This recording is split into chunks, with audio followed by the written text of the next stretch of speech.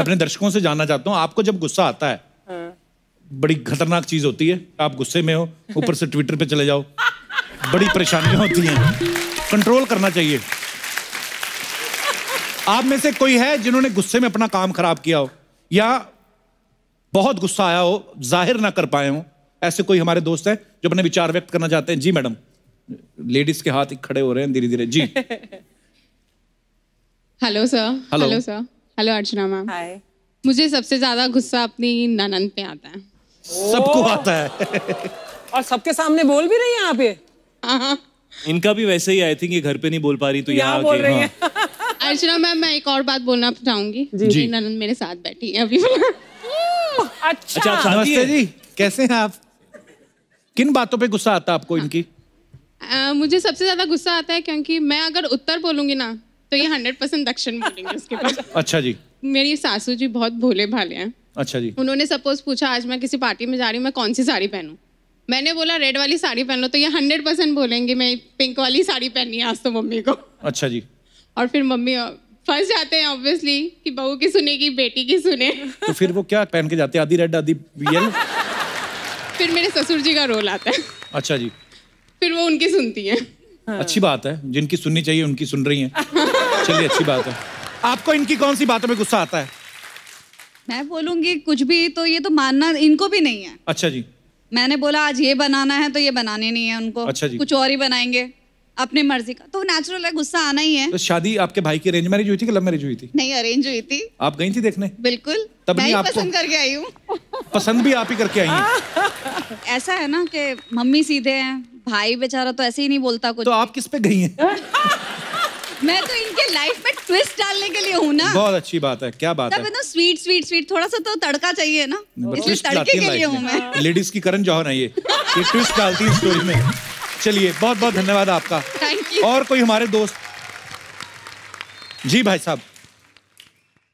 Hello everyone my name is Ankur Arora so ji, Ankur ji. Generally मेरे को गुस्सा कम आता है मेरी वाइफ को गुस्सा ज़्यादा आता है। हाँ जी पता है। जब भी कहीं बाहर जाना हो कहीं पे भी लेट हो रहे हो तो मेरे को गुस्सा ज़्यादा आ जाता है। तो आज भी ऐसे ही हुआ आज शो के लिए लेट हो रहे थे तो मैंने टाइम से बोला था जल्दी तैयार हो जाना।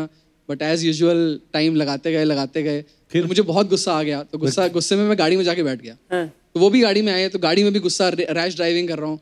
Then suddenly I looked at her she looked at me she gave a very cute smile और फिर सारा गुस्सा मेल्ट हो गया।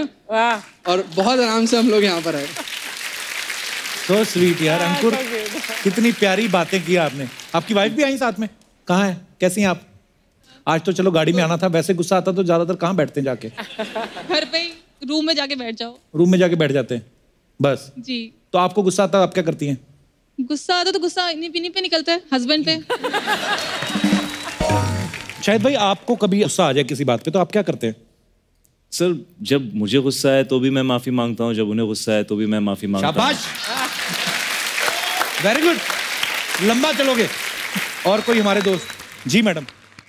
मैं शाहिद जी की बहुत बड़ी फ़ैन हूँ जो मैं मानती हूँ। जी। पंजाब के पास पटियाला में इनकी अ, मौसम मूवी की शूटिंग थी और मुझे पता चला। तो पटियाला से आप? मैं अमृतसर तो हूँ जी। अच्छा जी। तो मुझे जैसा ही पता चला कि इनकी शूट चल रही है और आज लास्ट डे है।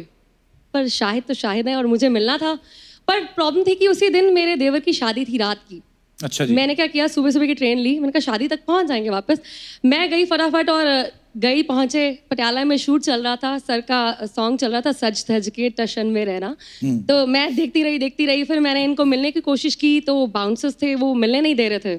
तीन चार बार बोला मैंने रिक्वेस्ट की वो बहुत मिलवाते हैं मिलवाते हैं अभी शॉर्ट चल तो चौथी बार मैंने चिल्ला दिया भाई घर पे मेरे शादी चल रही है वो मिलवा नहीं रहे हो मुझे इधर सजधज के वो बैठे हैं घर पे मेरे सजधज के वो बैठे हैं मैं कहाँ जाऊँ मेरे भेजो मिलवाओ। फिर? तो इतना बोला तो उन्होंने मेरे कि उधर ही जाओ फिर आप घर ही जाओ। निकाल दिया अच्छा तब भी नहीं मिली आप? नहीं मिली। ओ तो आज मिलने आज आई कैसा लग रहा है आपको मिलके उनको? मुझे यकीन नहीं हो रहा। क्या आज कुछ ऐसा हो सकता है कि यकीन हो जाए? कुछ।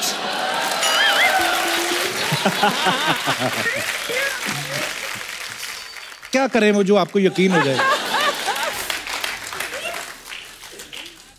एक जप्पी तो बनती है पंजाबी है भाई। और जब में की फ़र्क पहना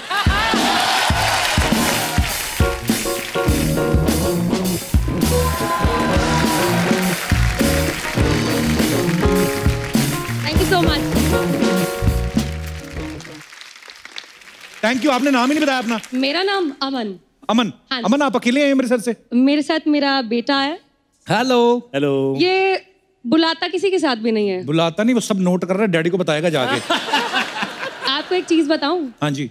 मैं इनके पीछे इतनी दीवारी हूँ कि मैंने अमृतसर में लड़के ढूंढे जिसकी शक्ल शायद से मिलती होगी उसके साथ शादी करूँगी। वाह। अच्छा वाह। और जब इसने पहली बार बड़ा होके होश संभाला और शाहिद को टीवी में देखा कहते पापा टीवी पे कैसे आ रहे हैं?